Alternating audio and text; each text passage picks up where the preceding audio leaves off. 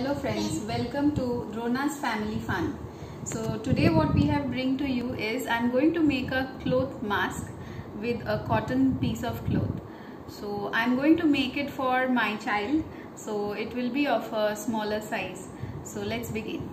So first of uh, first of all what you need for the mask is a, co a cotton cloth like this and then you need one needle and thread elastics and one scissor another thing you will need is uh, is an iron okay? Because uh, you need to press it press the cloth before you start doing it.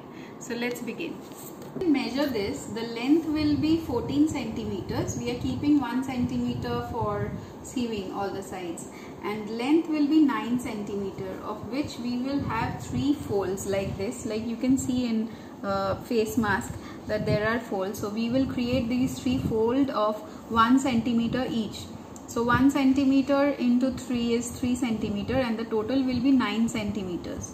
So you have to cut it like this. We will take two piece of clothes because uh, here we are making a double mask because it will be better more filtered and all. So we will be taking like this. So first when you uh, do this one centimeter fold after cutting the cloth you have to iron this. You have to press this so that you get the crease properly.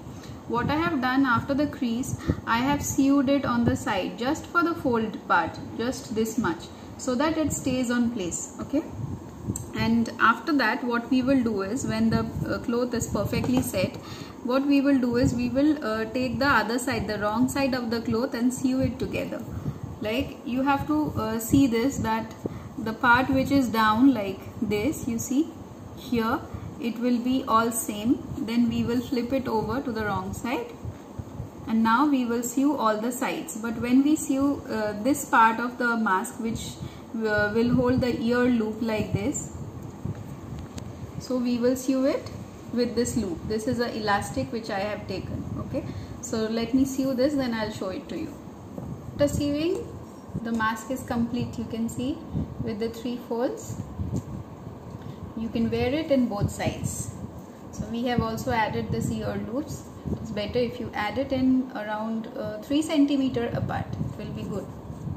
That's all for today. Please subscribe to our channel and like our video at Drona's Family Fun. Thank you